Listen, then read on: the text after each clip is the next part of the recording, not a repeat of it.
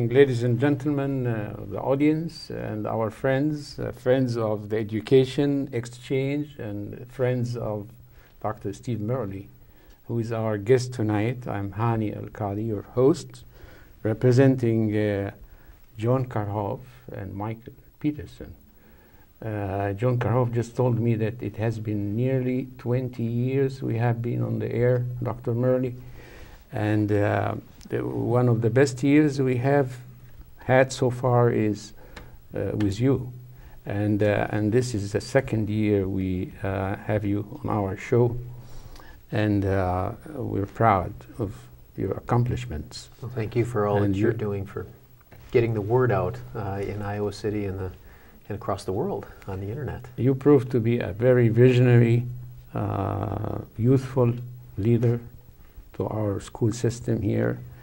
And uh, I, I cannot thank you enough for all you, you have done. And um, uh, I actually came up with about 400 questions. Is that enough for you tonight? It might be a little more than we can uh, cover over the evening here.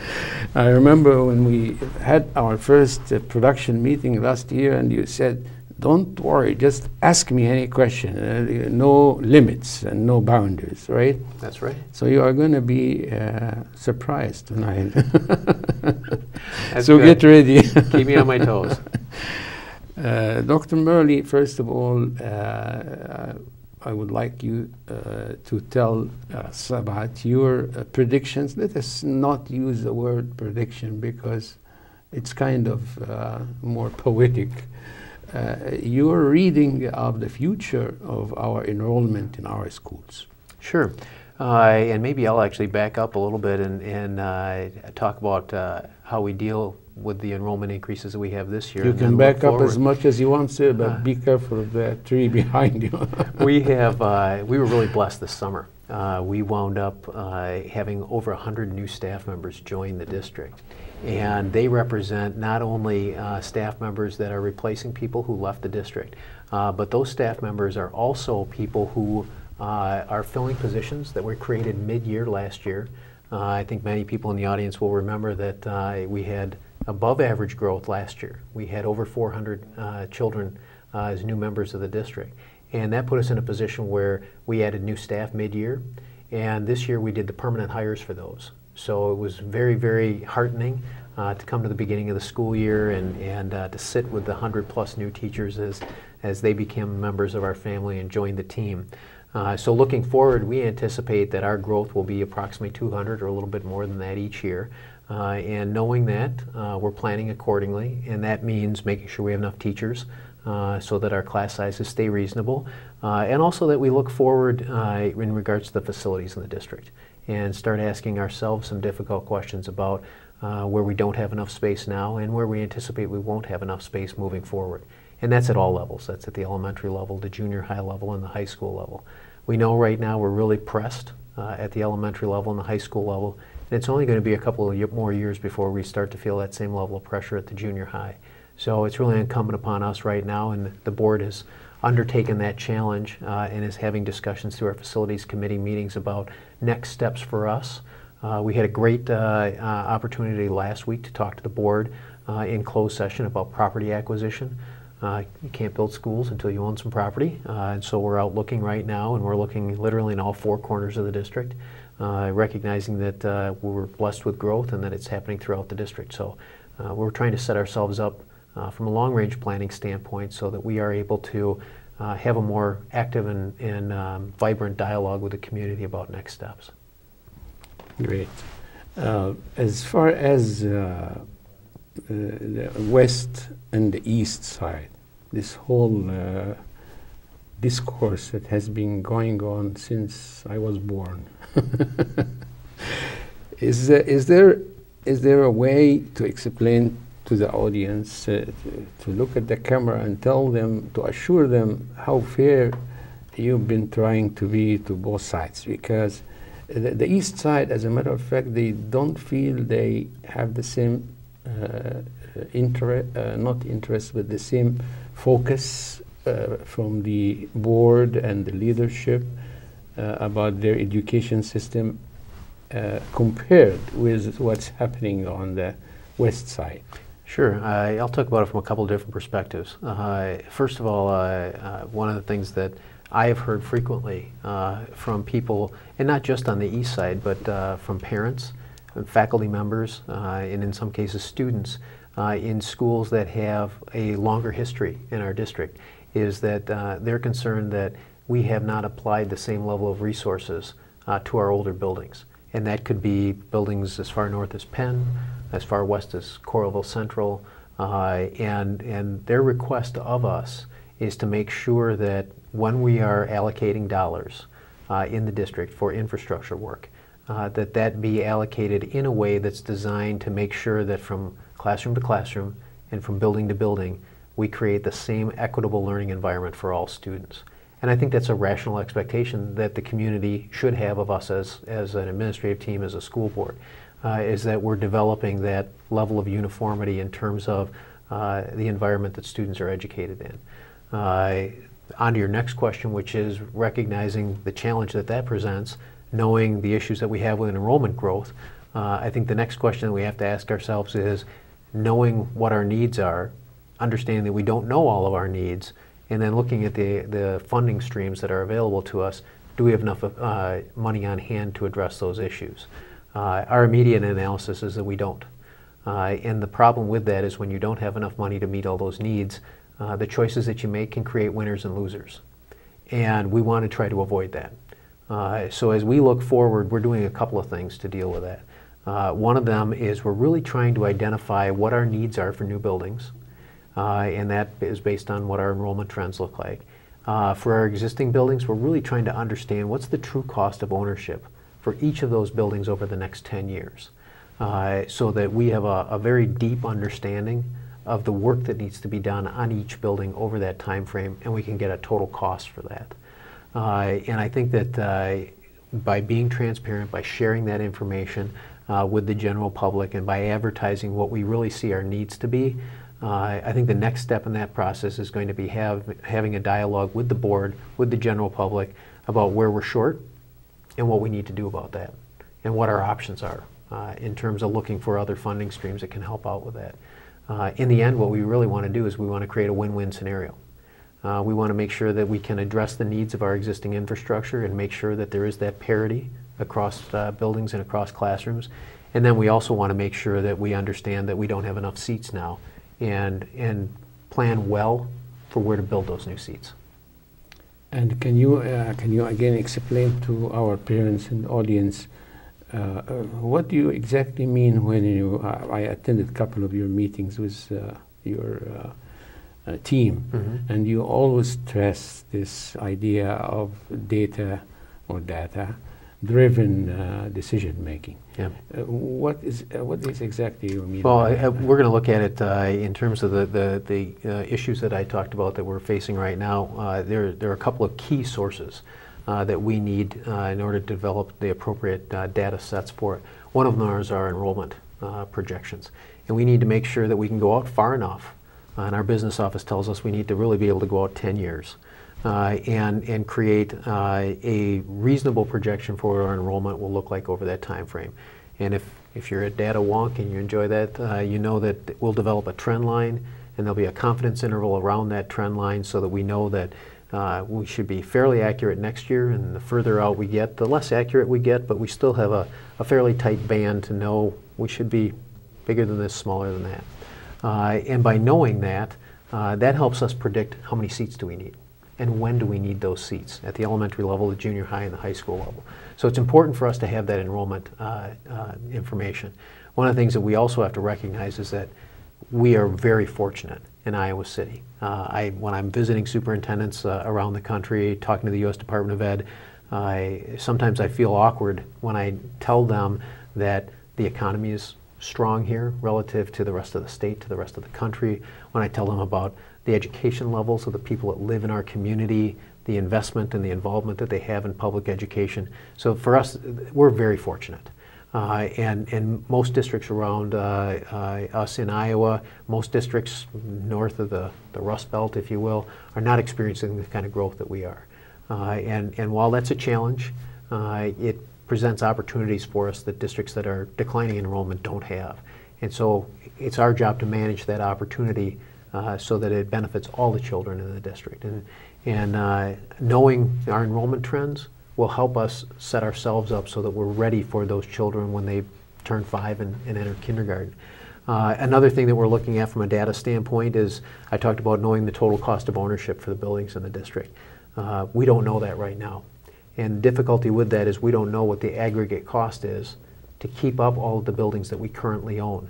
And we're being challenged, and I think rightfully so, by people who say, how can you support building new buildings if you don't know how much it's going to cost to maintain the buildings that you have?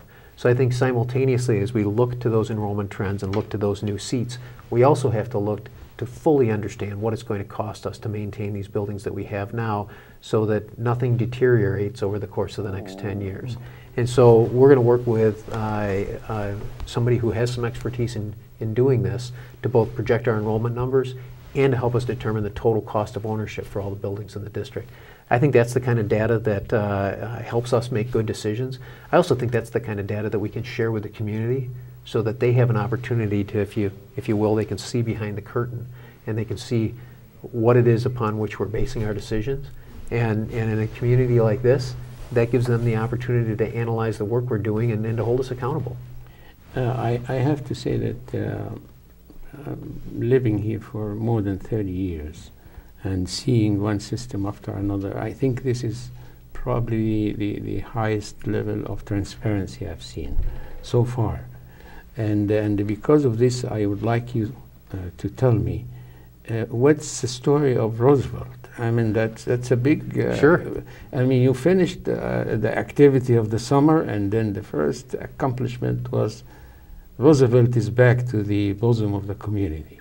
And, and I'll give you the, the Reader's Digest version in case there's anybody uh, watching who hasn't uh, watched the, the yeah. hasn't seen the whole process unfold.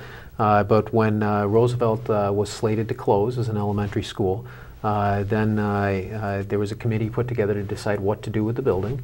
And two of the recommendations out of the, the four were to sell the building. One of the recommendations was to see if there was a municipality that was interested or another non another governmental agency that would be interested in taking it over. Uh, and then the, the fourth one was for us to keep it and repurpose it. And uh, at the time we got the first appraisal, it was appraised at over three quarters of a million dollars. And uh, thinking that we could uh, attain a number at or above the appraisal rate uh, for the property, the decision was made to sell the property. So we put it on the market, uh, and uh, we did not get that type of offer for it. we actually had it reappraised because the result of the committee was to protect parts of the property if we're going to be lifelong citizens of Iowa City as a school district and we're going to be good neighbors, uh, important for us to listen to the community that surrounds the school, and there were things that they wanted to make sure that we didn't do on the property. They wanted to make sure we preserved the ravine, that we didn't put a gas station in there or a liquor store or other things like that. So we put a lot of restrictions on selling the property. And that meant that we couldn't get as much money for it. So after reviewing that and, and knowing that uh, the only bid that we got was substantially less than, than uh, what the board wanted to get for it, uh, the board tabled any decisions about selling the property. Uh, and so we looked at that, and, and rather than letting the building sit mothballed uh, while we waited to decide what to do with it, uh, we looked around at programs that didn't have district sites. and they were actually in rented facilities around the, the community. And we said, would there be an opportunity and would we be able to enhance the education of those children if we brought them together under one roof? And the administrative analysis of that was that we certainly could. We can enrich the lives of the kids uh, by providing a more comprehensive set of facilities for them uh, for their education. Uh, it would be better for the staff because we could centralize some support for them. Uh, and that uh, as a district, uh, we would get some economies uh, by having them under one roof regarding transportation, food service, other things like that. Uh, so we are slowly starting to move programs into the Theodore Roosevelt Education Center. Uh, we'll move uh, first programs that'll come in will be our Bridges programs and our homeschool assistance programs. Uh, we're also looking at moving our Connections, our T3, eventually programs like STEP will move in there. And again, this will give us an opportunity uh, to take programs that, that uh, were in storefronts around town, bring them together under one educational roof, uh, centralized support services for them, and we think in the end enrich the educational experiences of the children who go to school there. And uh, in, in, order to respond to some of the uh, expected, uh, uh, every every time a decision is made, you you can find some comment, you know. Sure. But uh, being a public forum here and representing the community, I would like to discuss with you the some opinion that was raised um, by one of the audience and this was uh, related to, uh, well, now you're back to uh, Roosevelt, that you uh, claimed uh, to be not so good for kids. And now you're going to put other kids there. Sure. So how do you address this? I mean, yep, that's a that's a very good question. And uh, one of the things that we're uh, fortunate to be able to do uh, is the programs that we're moving in there aren't like a full elementary school in the sense that they don't have full complements of first, second, third, fourth graders, et cetera. Uh, and by moving the programs in slowly over the course of the year, and part of that timing is as the leases expire on the storefronts that these uh, uh programs are in, it gives us the opportunity to get in there and do some work that otherwise hadn't been done to make sure that when they move into that particular particular portion of the building that they're going to reside in, that we've been able to bring it up to speed. Uh, we do recognize there's some long-term costs associated with the building, and just like all the rest of the buildings in the district, when we fully understand what the total cost of ownership is for that building, uh, we'll be able to go back to the board and present that dollar figure to them and say, given that bringing this building up to speed so that these classrooms are on par with all the rest of the classrooms in the district, uh, it's going to cost us this much money. Is this an investment that's both good for the district good for the community, and certainly is it appropriate for the kids who are in those programs? Uh, we'll certainly know a lot more about that uh, after the course of the year when those programs have been able to, to cohabitate, if you will, uh, over at least a portion of the school year. We'll have a better understanding of how they work together when they are under one roof, and I think that'll influence the decision when we go to the board and talk to them about the cost of making sure that Roosevelt is uh, up to speed uh, as an educational entity. But again, uh, you know, that original question about how do you make sure that it's uh, prepared for the students. Uh, and safe. Yeah, the, the, the short answer to that is that because they're moving in in stages, we can make uh, the we can do the necessary work in stages and be prepared for them when they move in. Oh, that's a very logic, very reasonable. And uh, uh, now with the fact that you are,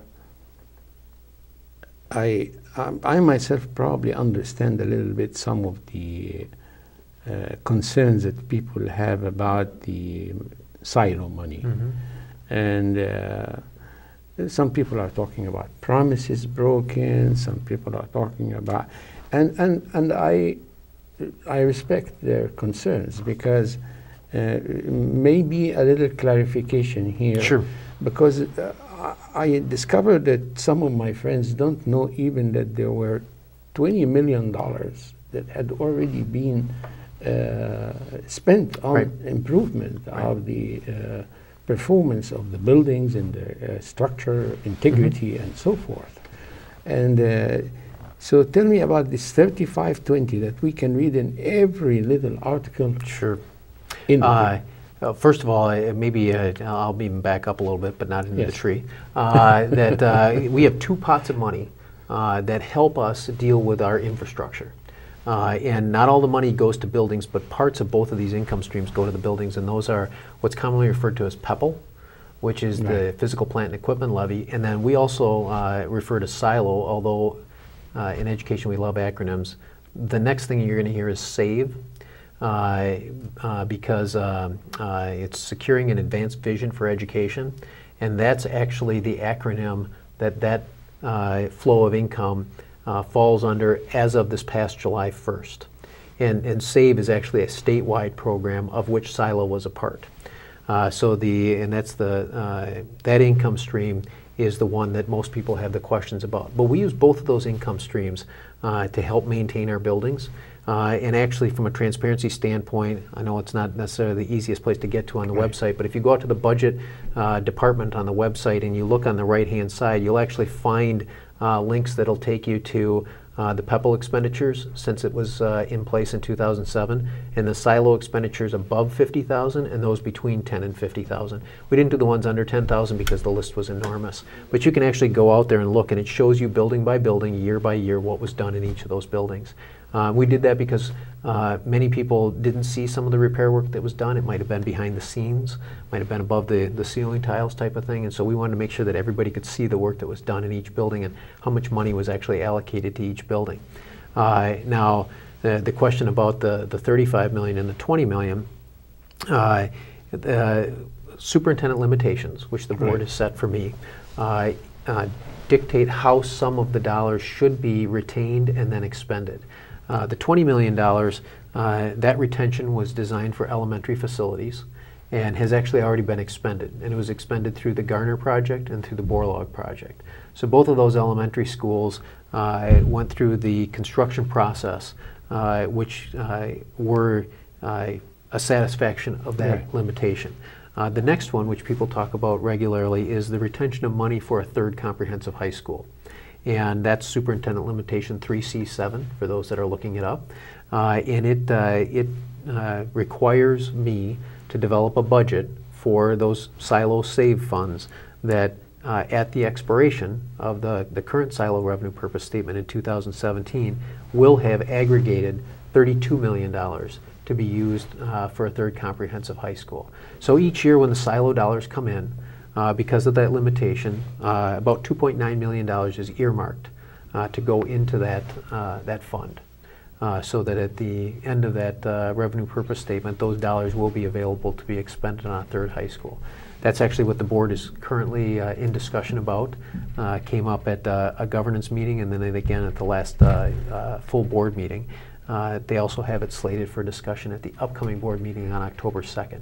And the question is, should that money stay earmarked uh, for a third comprehensive high school, or should it be deallocated? And that is, go back into the full silo pool of money, uh, which uh, the state stipulates what you can spend those dollars on. But should those dollars go in there in an unrestricted capacity? Uh, I've also received questions about this. I presume you most likely will after the broadcast today. Uh, people ask, well, what happens if it's deallocated? And uh, another step in the process is every year the district administrative team prepares uh, a facility plan, uh, which we bring to the board, and the board approves that plan. And that plan uh, goes through building by building and stipulates which projects we will do this year and it, it goes through and spells out uh, all those projects that are above $50,000. We have an appendix, which is every project below $50,000.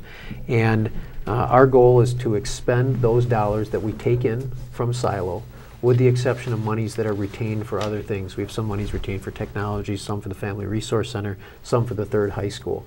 And so we expend, as with PEPL, we expend uh, almost all those dollars. We save some for contingencies. You never know when you might need a a roof or a boiler or something like that right. in the middle of the year due to some unforeseen catastrophe. And so uh, there's always some money that's retained for contingency. Uh, but that that's not retained for contingency is then spent on our facilities. Uh, and so if that money was deallocated, then we would bring forward a facilities plan that would allocate those funds to other projects that we're currently working on. Excellent. Um, I think we, we have a little time to uh, address one of my concerns because next time I think we are going to see you, Dr. Murley, on the October 29th. Yes, we are. We are going to have a, a, taping here for that, and yes. probably it will be broadcast uh, a couple of nights after that. Uh, so we'll we'll discuss STEM. Uh, we'll talk about a lot of things. But one of the nagging questions about teachers' relationship with administration and association, and so forth, because I have to be honest with you, I was not very happy with Chicago uh, walkout. I, I just happened to be an old-fashioned guy. I mean, you select this uh, uh, noble profession. And you know that it's not to be a millionaire. You're not going to be a millionaire when you do that. It's, it's a mission. Mm-hmm. And uh, to walk out of the kids who are in need, uh, for me, that was uh, rude and crude. And I uh, would have preferred other, any other way rather than leaving the kids without supervision, uh, without anything to do, maybe crimes, maybe selling drugs, maybe, and, and, and some of them need to be, to, to be in school and to eat in Mm, school oh, yes. and uh, to punish uh, minority kids and poor kids, disadvantaged kids, because uh, I need a couple uh, hundred dollars or more, uh, I think is was very shocking for me, to me to, to hear. Uh, you uh, have developed a good relationship with your uh, teaching staff here. We have. We're, we're, uh, we're very fortunate that we have a wonderful relationship with the uh, ICEA, which represents a majority of our teachers in the district, and also with the other groups, both those represented by associations and those that are independent. But our goal is to make sure that we have ongoing dialogue. Uh, I meet monthly with the ICEA president. Uh, it gives us an opportunity to maintain open channels of communication. Uh, I, I think when you see labor strife like you saw in Chicago, uh, what that says to me is somewhere along the line the communication broke down. Uh, and uh, trust is built on relationships, and that takes time. And if you wait until there's a crisis to try and meet and address it, it's hard to develop that trust. Uh, you really develop those relationships and you develop that trust when there isn't a crisis. We can assure the audience that the kids will be all Right. in school. They will have teachers. Right. So, so our, our goal is to really uh, to have very strong relationships and very open communication uh, with the, the various employee associations in the district, uh, so that we can quickly resolve differences that come up uh, between uh, collective bargaining rounds, and that also when we get to those collective bargaining rounds, uh, we can proceed with all due diligence. Uh, it doesn't. Uh, it's not beneficial to uh, anyone for those to drag out. So the goal is to know uh, what the situation is, know what the issues are before we get to the table, uh, so that we can work quickly to resolve those. And and that again. That, that's a relationship that's built over time. It's personal, whether it's myself or other members of my administrative team, they're engaged in that dialogue. Uh, but uh, having those open lines of communication, being able to pick up the phone and have that conversation, uh, that's an important part of that success. Dr. Murley, we appreciate so much your coming today and uh, your next visit too. I'm looking On behalf to of uh, John Karhoff, Mike Peterson, and me, and Emily, and Josh, uh, we thank you very much.